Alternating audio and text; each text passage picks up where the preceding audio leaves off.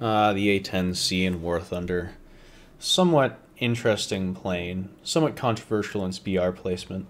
Uh, its ground RBBR is a bit too high, its air RBBR is a bit too low. In my opinion, they should have just swapped these and everything would have been right with the world. But how does it do in War Thunder? Uh, I saw a lot of people when the update was going to come out and this plane was unveiled saying that it was going to be you know, dead on arrival. It was just going to get outclassed uh, by other CAS options, which it is, honestly. Uh, like the F-16C is just objectively better in every way. It's going to get just instantly shot down by Pantsirs and Rolands, and, you know, it's just not, not going to be able to have a fun time. And it reminded me a lot of when people said the A-10A was going to be dead on arrival. And in my experience, they both did relatively well. I'm not sure if that's just because I'm slightly above average in terms of CAS or SPA players are really just that brain dead.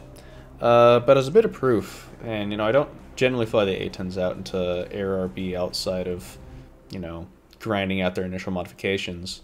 So my stat card isn't really tainted by, you know, ground pounding and Air RB or anything like that. My A10A KD is like 5.3 to 1 for uh, air to ground. I don't fly it anymore, but that's what it is. And if you take a look at the A10C, I'm currently sitting at about a 7 to 1. Now, why is this? Uh, I'm not sure, no one really watched it, but a while ago I made a video, uh, well, I made two videos. One I made a CAS guide, and the other one I made was in response uh, to a couple of uh, a, a, Reddit trend that I saw on the War Thunder subreddit where they were doing the anti-CAS crusade, and some guy posted the anti-anti-CAS crusade with the AH Mark One hitting things with star hitting SPA with Starstreaks. Very funny. I thought I'd jump on it, and I made a six-minute long compilation of me destroying SPAA and various vehicles. The A10A was one of those. Um, but one of the things that you can notice throughout those videos is that um,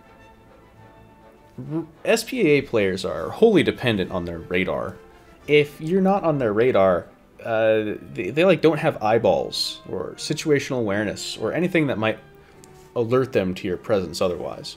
So with the A10C, if you're lucky enough to spawn in when they don't have SPAA, and you just circle the battlefield at like 14,000 feet, there's a good chance you're just going to be able to loiter there and they're never going to fucking find you. Um, but that's enough blabbing about the plane. I have a couple of uh, games here to, to kind of showcase what this can be capable of. They are kind of cherry-picked games because, you know, that's, that's what YouTube's for. Uh, generally, though, when I fly out, I'll get at least three kills per, per sortie before I get shot down or die or whatnot any case, enjoy.